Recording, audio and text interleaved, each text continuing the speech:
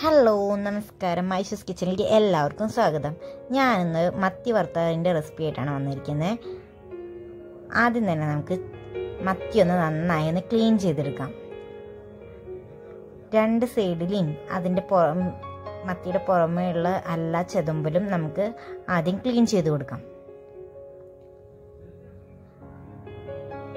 മത്തിയുടെ സൈഡിലായിട്ട് അതിന്റെ ചിറക് കാണാം. അതൊന്ന് കട്ട് ചെയ്ത് കൊടുക്കും നമ്മുടെ മീനൊക്കെ ഫ്രഷ് ആണോ എന്ന് അറിയാൻ വേണ്ടിയിട്ടുള്ള ഒരു സൂത്രമാണ് പറഞ്ഞു തരാൻ പോകുന്നത്. നമ്മുടെ ച മീനിന്റെ ചെകളൊന്ന് പൊന്തിച്ച് നോക്കിക്കഴിഞ്ഞാൽ അവിടെ റെഡ് കളറിലായിട്ട് കാണുന്നുണ്ടെങ്കിൽ മീൻ ഫ്രഷ് ആയിരിക്കും.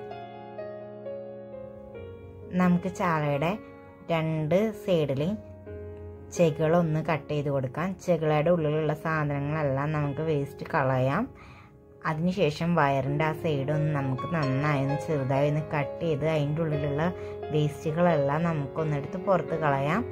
അതിനുശേഷം അതിന്റെ ഉള്ളിൽ നന്നായി ഒന്ന് ക്ലീൻ ചെയ്തെടുക്കണം. ചെകിളയുടെ അവിടെയുള്ള ഒരു റെഡ് കളറിൽ നിൽക്കുന്നുണ്ടാവും. അതെല്ലാം നമുക്ക് ക്ലീൻ ചെയ്യണം. വയറിന്റെ ഉള്ളിൽ നന്നായി വ്യക്തമായി ക്ലീൻ ചെയ്തിരിക്കണം. ഇനി നമുക്ക് ചാള വറുക്കാനായിട്ട് തുടങ്ങാം. അതിന് വേണ്ട ഇൻഗ്രീഡിയൻസ് ആണ് ഞാൻ പറയാൻ പോകുന്നത്. ചാള നന്നായി ഒന്ന് കീറി കൊടുക്കാം. ഒരു മിക്സിയുടെ ജാറിലേക്ക് ഇഞ്ചി ഇട്ട് കൊടുക്കാം. വെളുത്തുള്ളി ഇട്ട് കൊടുക്കാം. ചുവന്നുള്ളി ഇട്ട് കൊടുക്കാം. കറിവേപ്പില ഇട്ട് കൊടുക്കാം. മഞ്ഞൾപ്പൊടി ഇട്ട് കൊടുക്കാം. പെരിഞ്ചീരകം വലിയ ജീരകം ഇട്ട് കൊടുക്കാം. മുളക് പൊടി ഇട്ട് കൊടുക്കാം. ഉപ്പിട്ട് കൊടുക്കാം.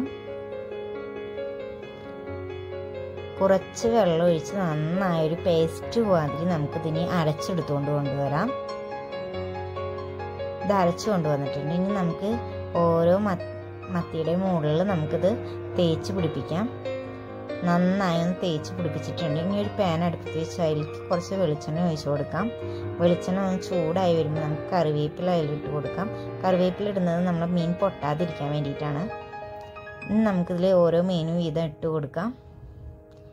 എന്നിട്ട് ചെറിയ തീയിൽ നമുക്കിതൊന്ന് വേവിച്ചെടുത്ത് കൊണ്ടുവരാം. അടച്ച് വെച്ചിട്ടാണ് ഞാൻ വേവിച്ചിരുന്നത്. നമുക്കൊന്ന് തുറന്ന് അതൊന്ന് മറച്ചിട്ട് കൊടുക്കാം. നമ്മുടെ മത്തിയെല്ലാം നന്നായി മൊരിഞ്ഞു വന്നിട്ടുണ്ട്. നമുക്കിനി ഇതൊരു പാത്രത്തിലോട്ട് മാറ്റാം. നമ്മുടെ മത്തി വറുത്തത് തയ്യാറായിട്ടുണ്ട്. നിങ്ങൾക്ക് ഈ വീഡിയോ ഇഷ്ടപ്പെട്ടെന്ന് കരുതുന്നു. പുതിയൊരു വീഡിയോ ആയിട്ട് കാണുന്നതുവരെ എല്ലാവർക്കും ബൈ.